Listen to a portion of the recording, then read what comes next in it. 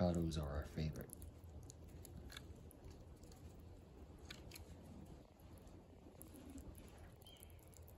Hmm. There are two hawks in the area. They've got to get used to those sounds. Now she's eating Ash's breakfast plate. Ash has been out for several hours. She spends most of her days outside now, and the last two nights outside.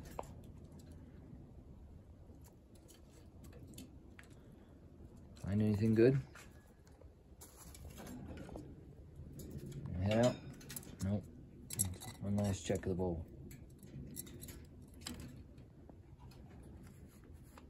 Good boy.